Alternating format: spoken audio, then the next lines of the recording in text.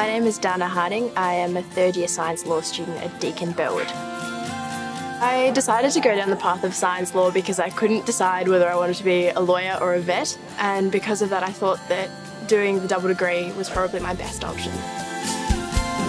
I absolutely fell in love with the campus as soon as I arrived. I really liked the fact that we had this big open space, the central precinct which had all the cafes, had the gym, and it was just a really nice place for people to sort of meet. That really strong community atmosphere was something I really liked about Deakin.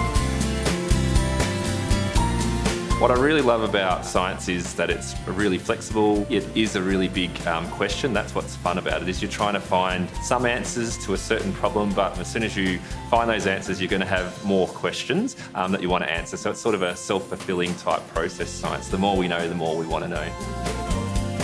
I really love teaching students, helping them learn, helping them develop as scientists, and also watching them grow. My name's Laura and I'm studying Bachelor of Science with honours.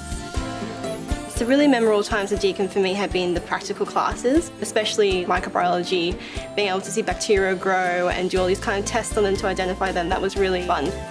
Deakin has fantastic facilities. I'd consider them world class. Students get access to those facilities in small groups, which is actually a, key thing to um, teaching science and getting exposed to those that type of equipment and those experiences the microbiology lab that was renovated whilst I was here and when we started using it in third year it was amazing.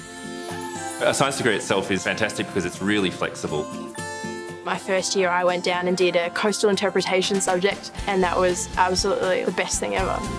You'll be able to choose a variety of different majors, the biology major, um, biological chemistry, mathematical modelling. You can sort of choose to focus more on human physiology and anatomy, but there's also animal-based subjects, there's all of the chemistry units. So to make the course really applicable to the real world and students getting real skills that they can use in industry, we have a range of industry placements. So after my degree I moved on to honours and I was doing that off campus at Prince Henry's Institute, which was a medical research institute, and just gave me a feel for what it'd be like in an off-site lab.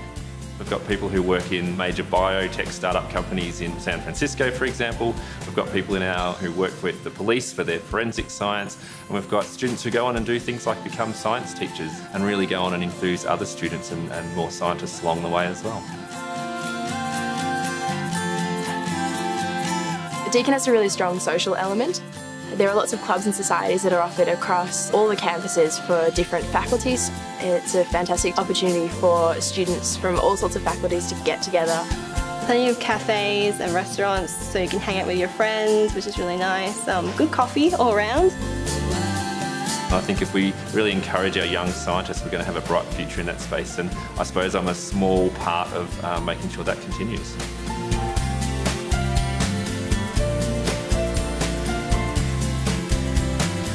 If you're thinking of studying at Deakin, I'd say go for it.